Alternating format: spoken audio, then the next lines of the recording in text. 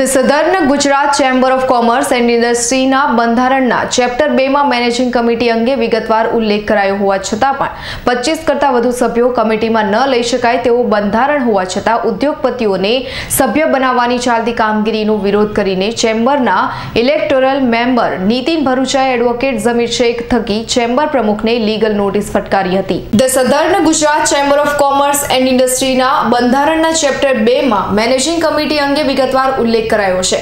જેમાં ભારપૂર્વક લખાયું છે કે પચીસ કરતાં વધુ ઇન્વાઇટ મેમ્બર્સ ન હોવા જોઈએ અને અગાઉથી પચીસ મેમ્બર હોવા છતાં હાલમાં ઉદ્યોગપતિઓને આમાં સમાવવાનું કાર્ય કરાઈ રહ્યું હોય, જેને લઈને ચેમ્બર્સના ઇલેક્ટોરલ મેમ્બર નીતિન ભરૂચા દ્વારા એડવોકેટ જમીર શેખ માર્થે ચેમ્બર્સ પ્રમુખને લીગલ નોટિસ ફટકારી આ ચાલી રહેલ ગેરકાયદે કામગીરીનો વિરોધ કર્યો હતો.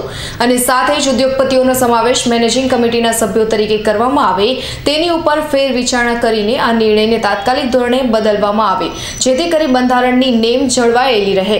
સાથે જ ચેમ્બર પ્રમુખ દ્વારા વિશ્વ હિન્દુ પરિષદના લોગોનો ચેમ્બરના લોગોની સાથે ઉપયોગ કરાય છે અને ચેમ્બરના ટ્રેઝરર દ્વારા ચેમ્બરના લોગો સાથે ભાજપના લોગોનો ઉપયોગ કરાયો છે. તે તાત્કાલિક ધોરણે બંધ કરવા પણ અરજી કરી હતી. મારા ક્લાયન્ટ છે, નીતિનભાઈ ભરૂચા. એ ચેમ્બરની મેનેજિંગ કમિટીના મેમ્બર છે ઇલેક્ટેડ મેમ્બર છે. ચૂંટણીમાં ઇલેક્શન જીતીને મેમ્બર થયા છે. હવે વાંધો એવો છે કે ચેમ્બરના લાસ્ટ મિટિંગમાં જે છેલ્લી મેનેજિંગ કમિટીની મિટિંગ થઈ, એમાં એવો નિર્ણય લેવાયો કે પચીસ ઉદ્યોગપતિઓને મેનેજિંગ કમિટીમાં ડાયરેક્ટ મેમ્બર બનાવવામાં આવશે.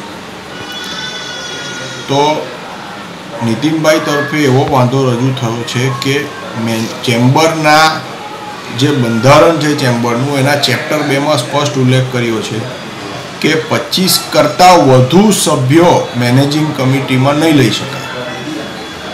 તો પહેલાં પચીસ તો લઈ લીધા છે, તો આ બીજા પચીસ બંધારણની ઉપરવટ જઈને કઈ રીતે તમે લો છો? પહેલો પ્રોબ્લેમ એ છે. અને બીજો વાંધો એ છે કે ચેમ્બરના પ્રમુખ અને ટ્રેઝરર